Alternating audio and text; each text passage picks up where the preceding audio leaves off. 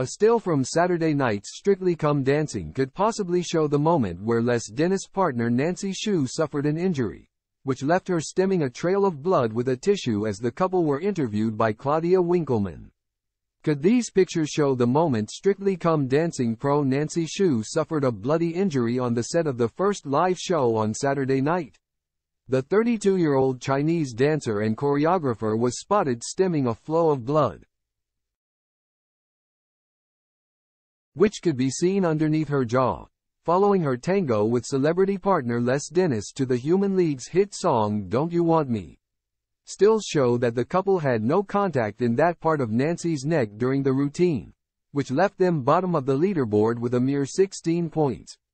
However, at the end of the dance, they shared a warm embrace as Nancy said, Thank you, to Les, and in images from that moment, the area of the dancer's body, which was subsequently left bleeding, clearly makes contact with the former Coronation Street star. Shortly after this, fans spotted the flow of blood as the professional dancer was seen clutching her neck as she walked up the Strictly staircase to be interviewed following her first live performance. She could then be seen holding a tissue to her neck, and she appeared to have blood underneath her chin.